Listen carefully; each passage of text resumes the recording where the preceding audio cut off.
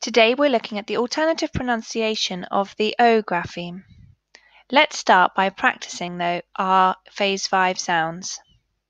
Today we're going to practice our phase 5 sounds. Can you say them before I do? Let's go. A I Ow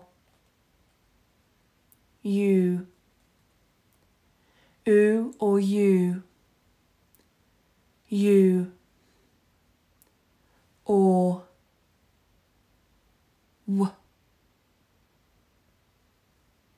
o, oi, o, e, uh, I E F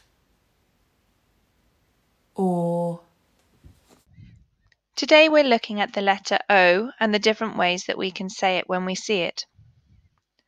The first thing we can do is we can say the short vowel sound. Do you remember we can make a fist?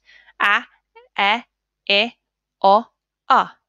So we're saying the letter O, we say the O sound for the short vowel sound. Stretch your hands out. Now we're going to say the long vowel sounds A, E, I, O, and U. So the letter O can also say its name O. Let's sort some words. Here we're going to put the words which have the short O in it. Here we're going to put the words that have the long O in it. Let's read these sounds. D, ot, dot. That's got the short O in it the o.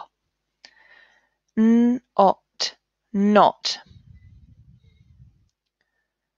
B, oath, both. It's got the long O sound in it.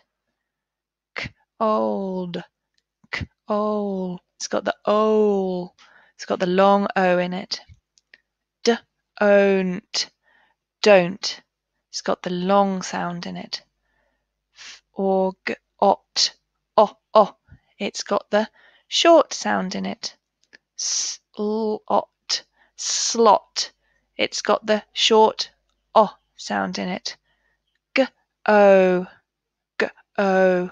Can you hear that long o sound?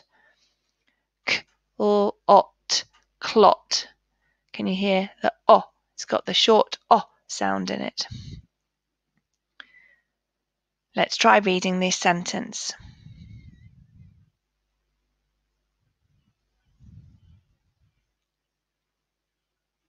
Okay, let's read it together. Don't, don't go to the hot, hot spot, spot. Let's read it together now quickly. Don't go to the hot spot. Right, we've got one more sentence that we're going to try and read today. So first of all, try and read it yourselves.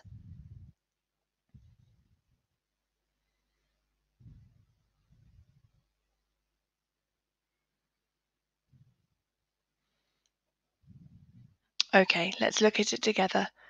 Can we both both old hold the old gold block block? Can we both hold the gold block? Right, well done. We've finished our lesson for today, so now it's time to go and do your activity.